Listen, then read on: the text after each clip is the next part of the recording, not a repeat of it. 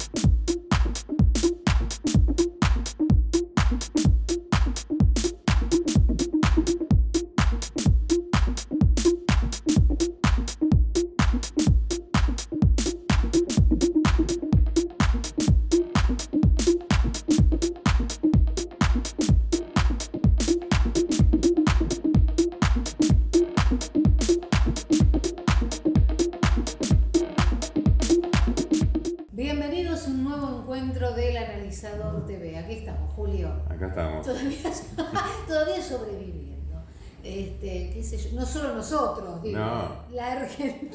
toda.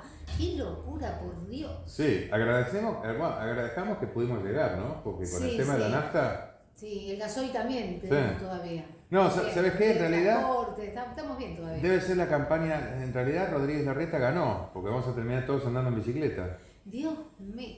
Sí, pero después no vamos a encontrar los repuestos de la bicicleta, No. que si son importados también estamos en un problema. Totalmente. Qué desastre. Pero bueno, aquí estamos, gente. Vamos Aquí a estamos. analizar un poquito qué es lo que está aconteciendo. Sí, tremendo, tremendo. Bueno, y salieron ya con los tapones de punta, ¿no? La oposición La oposición sí salió con todo. toda fragmentada a raíz del apoyo de, de Ma- de Macri y de Bullrich a, a. Sí. Sí, realmente es este. A ver, hay un argumento que para mí es lógico y categórico. Acá están los radicales, los y no todos, ¿eh? Porque Cornejo ya se manifestó Neutral. eh, eh, neutral, pero es un, sí, un neutral con ¿Dijo? casi guiñándole el ojo a Macri y a Patricia, ¿no? Este, después otro más que ahora se me fue el nombre, no me acuerdo cuál era. O sea, acá son Morales y Lustó. Entonces vamos a ver los personajes que Bueno, tenemos. Cobo también se manifestó en contra, ¿no?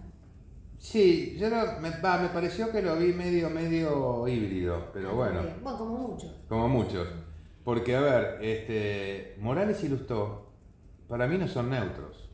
Morales y Lustó salieron categóricamente a apoyar a Massa. Entonces ahí digo, bueno, entrando en cada uno de ellos, Morales llegó a donde llegó gracias al apoyo de Juntos por el Cambio y a lo que pasó con Milagro Sala. Lustó es, creo que le pelea palo y palo a Massa de cuántos partidos integró. Porque la verdad que Lustó arrancó de, este, arrancó con Solá, después estuvo con, fue eh, kirchnerista, estuvo, fue el autor de la 125 que casi provoca una, una guerra civil. Después de ahí se pasó a la coalición cívica, después de ahí eh, coqueteó con Cambiemos, después radicalismo y después eh, y ahora le está diciendo, le está haciendo guiños a este, le está haciendo guiños a Massa, será porque habrá visto que por el lado de Milei, con el apoyo de Patricia y de Mauricio, eh, va a quedar afuera de todo, entonces está buscando dónde puede manotear un cargo. ya quieren sacar a Petri del radicalismo. Digo, ¿qué pasó con Moro? Bueno, Moró, no, es que Moró está- es, es radical K, ¿te acordás desde el comienzo? Ah, pero es radical, ¿no? Sí, él, Ah, no Cecilia escuché- Moró, la hija también. Claro, no escuché que. que- No, pero ellos ya estaban ahí, esos fanáticos, fanáticos, Claro. fanáticos camp- camporistas, kirchneristas. Claro que sí. Pero Bueno. eh, eh, yo creo que ahí este, también está bueno porque todo el aparato de fiscalización de Juntos por el Cambio se puso a disposición para que la libertad avanza por todas las tremendas denuncias de fraude que han habido. Bueno, lo que hablábamos eh, en producción es, si bien está toda la, fiscalización en lo que es mesas, yo acá le le consultaba a Julio que, que entiende algo más del tema, este, cuando es el, el cargo de votos, ¿no? cuando hay que cargar los votos y cómo se maneja eso. Mira, acá el problema aparentemente que ¿Y hubo cómo en hacer esta... para fiscalizar eso Claro. si ponen fraude cuando vos estás cargando En la carga. En la carga. Porque ¿Cómo haces? aparentemente la fiscalización, vos sabés que vos en el momento que se termina de fiscalizar, se llena esto, Sí, el certificado este, se llenan tres documentos. El acta de escrutinio, el certificado de escrutinio y el telegrama. bien. El acta de escrutinio, va, son los tres casi, el acta y el certificado de escrutinio son prácticamente calcados y el telegrama es una versión un poquito más corta. El acta de escrutinio va al bolsín, el bolsín plástico que le dan a la autoridad de mesa. El certificado de escrutinio que hace la autoridad va en la urna, junto con los sobres y las boletas, y nada más. Todo el resto va al bolsín. Y el telegrama es lo que le entrega, junto con la urna y el bolsín, la autoridad de mesa al del correo. Bien. Entonces ahí los fiscales, ¿qué tienen que hacer? Van a tener su certificado de escrutinio, debidamente firmado por la autoridad, tiene que exigirle la firma a la autoridad, todos los números completados, todo perfectamente completado, por ejemplo, esta es del anterior, pero acá, por ejemplo, algunos ponen 8, 96, no, se pone 096, 008. Porque si no, si yo te quiero anular una mesa, es muy fácil. Claro, agregas, agregas atrás. Donde era o 9 le adelante, pongo 10, claro. 109. Claro. Entonces en esa mesa vos tuviste 270 votantes, pero tenés 370 votos, porque le mandaste un 100 adelante. Exacto. Y anulás una mesa que fue favorable para tu oposición. Bien. Entonces por eso es que hay que completar todo. Y después, el problema que hubo acá, que se están abriendo las urnas y dicen que la diferencia de los 6 puntos se puede llegar a achicar sustancialmente, eh, porque se están abriendo, el problema fue acá en la carga de votos. ¿Esto qué es? Cuando llega el telegrama y el correo agarra el telegrama y lo sube. Bueno. Que casualmente el correo, ¿quién lo maneja? La cámpora. La cámpora. Bueno, a eso voy. ¿Hay forma de fiscalizar eso? Sí, hay Porque si no forma. estamos- Hay forma que mi ley no la tuvo en la elección pasada, porque justamente está ajustado de fiscales. Eh, yo asumo que ahora, teniendo la ayuda y el apoyo de los fiscales de Juntos por el Cambio, que la verdad que es muy loable y, se, lo valora muchísimo la gente de la Libertad Avanza, porque realmente se la están jugando por, el cambio, como dijo Macri el otro día, y mi ley. Eh, todos dicen el cambio, el 65% de la población quiere el cambio. Bueno, se la están jugando. Entonces hay que poner fiscales en los centros de carga, que eso es lo que esta vez probablemente no hubo. Porque en los centros de carga el fiscal puede ver el telegrama que, que- que tiene- que trae el correo Ah, Y ve lo que carga. que está cargando. y ve lo que está O sea, tiene que cargando. haber un tipo atrás así, Claro. lo que está haciendo. de- Hay cuatro fiscales eh, designados por el Código Electoral. La gente conoce dos. Fiscal de mesa y fiscal general. Hay un tercer fiscal que yo lo llamo itinerante, no es el nombre. se comenta. Claro, no es el nombre técnico el fiscal itinerante, pero que el fiscal itinerante lo que hace es, es el que va a la escuela, va por si hay un problema a solucionarlo, o va a llevar, qué sé Sí. yo, la comida, o va a llevar boletas, o puede entrar y salir de las escuelas, pero no puede superar el máximo. Ese es otro tema, hay que respetar el máximo de fiscales generales por escuela. O sea, escuelas de hasta ocho mesas son dos fiscales generales. Bien. Más de ocho mesas son tres fiscales generales, más los fiscales de mesa. Y después tenés el cuarto fiscal, que es el fiscal informático, que ese es el que probablemente en las elecciones pasadas, yo creo que la Libertad Avanza no llegó a cubrirlo. ¿Por qué? Y no sé Juntos por el Cambio, porque Juntos por el Cambio lo perjudicaron quizá también. Yo para mí el 24, 24 de Patricia fue, ¿no? Sí. Para mí el 24 de Patricia es mentiroso también. Yo creo que Patricia debe haber estado tranquilamente en el 28. O cuatro puntos más, por, entre 3 y 4 puntos más tenía, lo mismo que Milei. Y Massa tendría 3 o 4 puntos menos, para mí. Yo creo que debería haber dado Milei primero por un poco, y segundo y, segundo y tercero, Massa y Patricia palo y palo. Para mí, si se, se demuestra el delito de fraude, esa debería haber sido la, el resultado de las generales. Hubo muchas denuncias de fraude. Y solamente de las primeras 48 horas de la libertad avanza, 4.500. En las, primeras, en las primeras 48 horas, que es el plazo que te da el Código Electoral, ¿no? Igual mi ley, viste, que no salió a hablar tan, como que...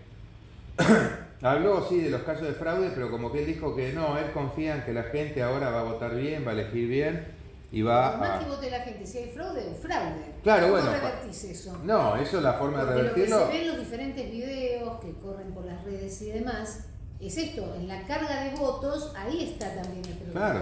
Bueno, ahí es donde está ahora con el aparato de fiscalización de Juntos por el Cambio, en esta alianza que se ha armado. Yo creo que ahí sí van a poder tener los fiscales informáticos y además va a tener un batallón de gente que ante este tipo de situaciones, ¿qué pasa? ¿cómo, se, ¿Cómo se fiscaliza y cómo se hace este trabajo a conciencia, teniendo el equipo y teniendo la gente? Cada fiscal de mesa, lo podría ser un fiscal general, pero mucho más laburo. Cada fiscal de mesa, cuando llega a su casa, se abre un vinito para ver los resultados de las elecciones, puede entrar en la computadora y va a la página de la Junta Electoral y busca su mesa. Él ahí verifica si los datos cargados de su mesa coinciden con el la copia del certificado que él tiene. Entonces ahí tiene que haber toda una preparación hacia Y, los fiscales. claro, y ahí tiene que informar inmediatamente si está mal cargado. Eso tiene que generarse todo. Y eso que puede pasar, o que se validen las denuncias, porque se presentan los certificados originales firmados por la autoridad, o que se exija la apertura urna por urna y el reconteo. Vamos a estar ahí y podemos llegar a estar hasta un mes y medio o dos hasta saber quién ganó. Este, porque se tienen que abrir la totalidad de las urnas, o por lo menos todas las urnas de las escuelas impugnadas.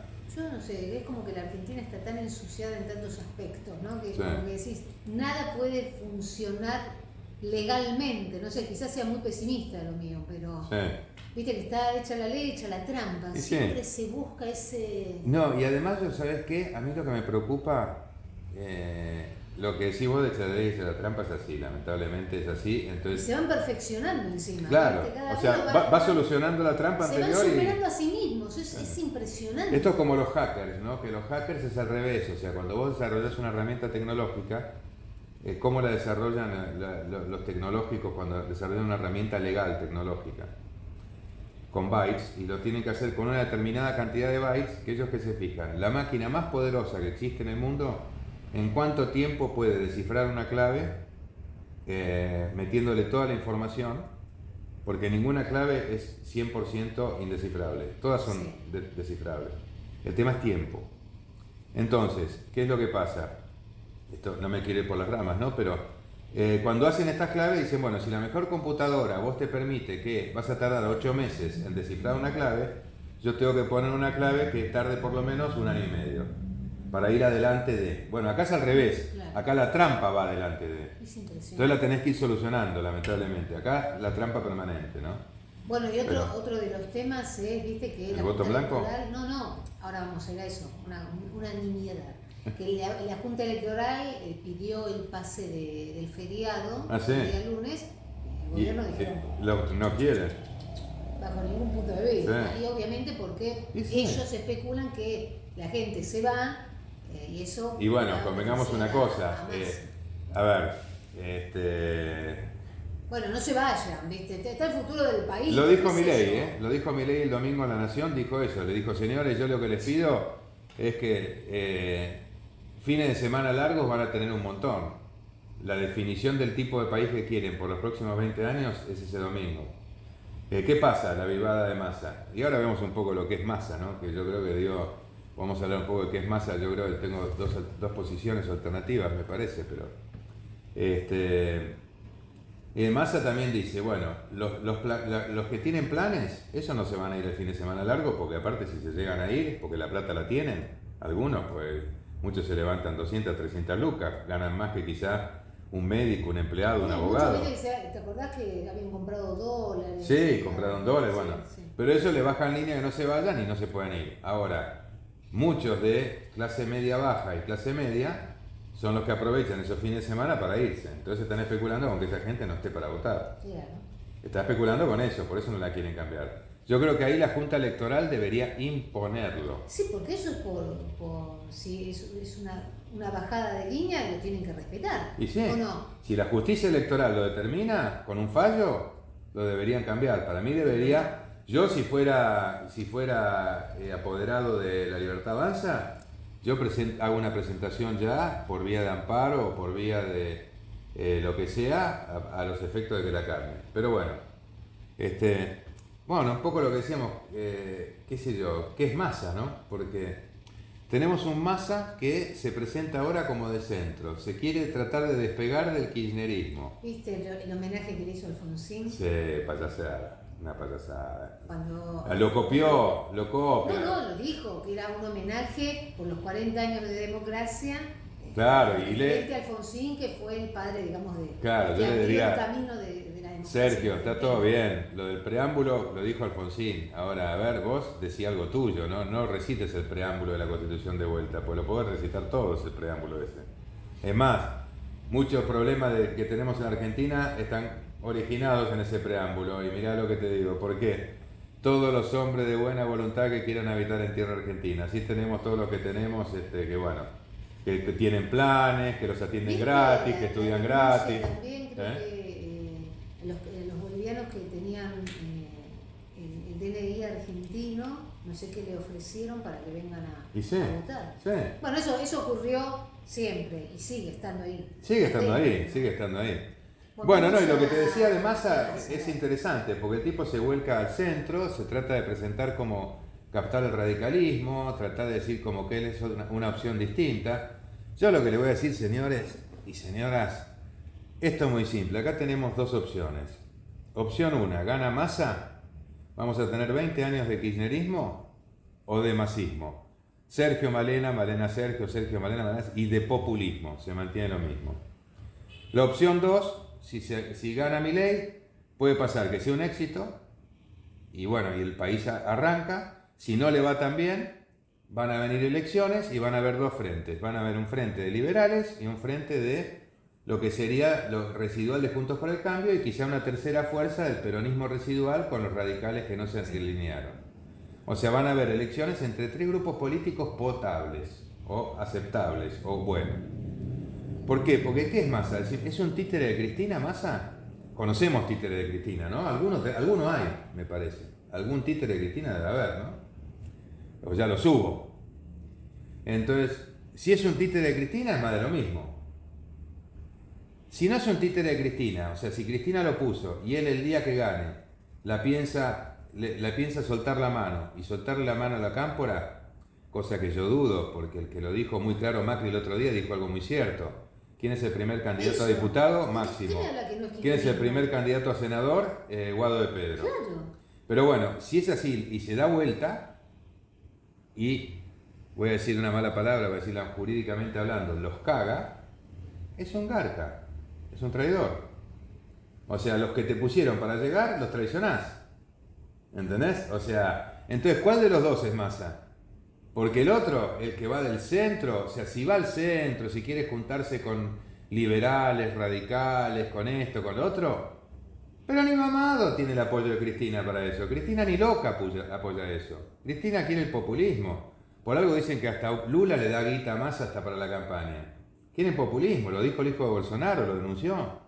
Que Lula le, está financiando, le está... La guita que no le dio Alberto cuando Alberto fue con la colita entre las patas a pedirle ayuda a Lula y se volvió con una camiseta de la selección brasilera firmada.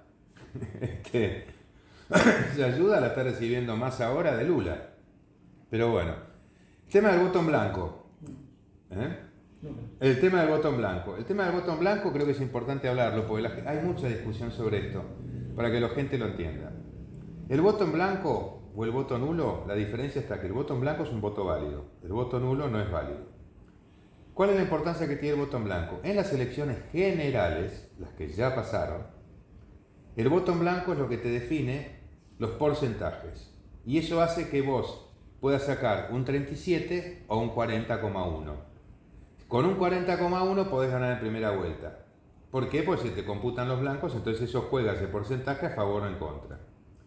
En el balotage, que mucha gente habla del tema ese, ¿por qué se dice que el voto en blanco es funcional al kirchnerismo? Otros te dicen que no. Claro, muchos dicen que no, pero yo digo que sí. Primero, porque está demostrado en todas las elecciones que han pasado, en todo el planeta Tierra, donde hay este eh, balotaje, siempre se da esa máxima, que si vos votás en blanco, estás favoreciendo a la primera minoría, o sea, masa. ¿Y por qué? Porque acá no se va a computar a porcentaje, porque el balotaje se gana por un voto, es como la elección de gobernador de provincia de Buenos Aires. Pero ¿qué pasa? el tema del voto en blanco, el voto impugnado a propósito, no el voto nulo por discusión, el voto impugnado, la gente que impugna su voto, por ejemplo, que mete, no sé, eh, la feta, la feta de, jamón dentro del sobre, este, esos votos, que esa gente no vota, está haciendo funcionar la masa. ¿Por qué? Porque yo les pregunto, señores, ¿cuántas veces votaron lo que realmente querían con el corazón y con la cabeza? ¿Cuántas, eh? ¿Una? Dos. ¿Cuántas veces tuvieron que elegir entre, el mal menos menor? Entre el mal, entre el, mal menor. Siempre. Entonces, señores, a ver, acá tenemos, y esta es una descripción, voy a ser mías unas palabras que dijo este, Milei el otro día y también creo que las dijo Macri. Massa, ya sabemos lo que es, es la continuidad del kirchnerismo. Hace 15 meses que es ministro de Economía. Llevó el dólar de 200 a 1100. Eh, todo el problema de la nafta, no entran los insumos, no entra absolutamente nada. Te dice que tiene la solución, pero dice, yo voy a ser el presidente que va a solucionar esto, y yo le digo, pero flaco, y entonces ¿por qué no lo solucionás ahora que hay gente que se está cagando de hambre? o especulando con ganar las elecciones, no te importa que la gente se muera de hambre.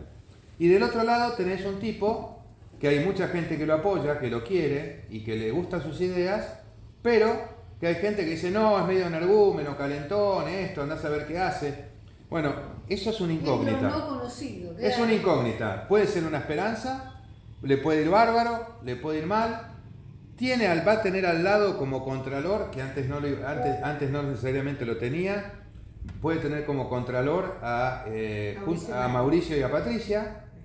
Ya dijo, hay determinados puntos que él había planteado que acordaron con Patricia y Mauricio que él no tiene problema, está abierto a que se sienten a analizarlos y discutirlos. Entonces digo, a ver, ¿le vamos a dar la oportunidad a uno nuevo? Que en el peor de los casos, en cuatro años se lo saca, porque van a estar los partidos grandes. Y si ley fracasa en los primeros cuatro años, chao, terminó la libertad avanza. No es como los radicales o los peronistas o Juntos por el Cambio que pueden darse el lujo de un fracaso y seguir. La libertad avanza es one shot, como dicen los americanos, un tiro. Entonces, viste, muchachos, déjense joder. Bueno, veremos entonces qué es lo que pasa, este, pero va a seguir la campaña del miedo. Ah, ahora viene la campaña. Ahora sí que. Ahora viene la con todo la campaña. Con todo, la campaña del miedo. Mm. Aparte, cuando te dicen esa huevada. Y ahora está con el tema de la nafta, pero yo le quiero decir a Massa que Massa también va a tener que aumentar. Claro. El valor de la no, y aparte, a ver, Massa, el problema de la nafta, ¿me podés explicar cómo hace un candidato Fíjense esto y con, esto, con esta, esta, reflexión cerramos. Fíjense el poder, cuando lo piensen, el poder que podría llegar a tener mi ley, según Sergio Massa, si él puede manejar el tema del dólar, el tema de que no entre la nafta, siendo un simple candidato. O sea, fíjense la locura. Ningún candidato tiene ese poder para ser semejante embrollo en la realidad argentina previo a 20 días de las elecciones. ¿Quién lo puede hacer? El que está sentado arriba de la caja y el que está sentado en el gobierno, o sea, Sergio Massa. Y con esta reflexión nos vamos. Hasta nuestro próximo encuentro.